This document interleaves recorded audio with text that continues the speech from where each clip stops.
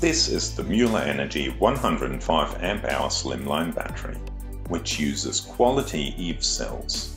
The cells are connected by copper bus bars.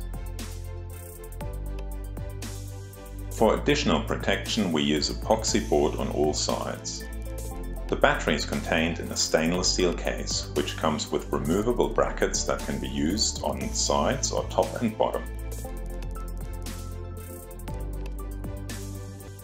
It also has a 5 amp active balancer to keep the cells balanced for years to come. The BMS is a 150 amp JBD with Bluetooth. We've got a USB and BMS disable switch and for connectors we've got a 175 amp Anderson and 250 amps, a 15 amp cigarette lighter socket, a USB A and C that can charge laptops and tablets. Finally, the lid has a voltage meter.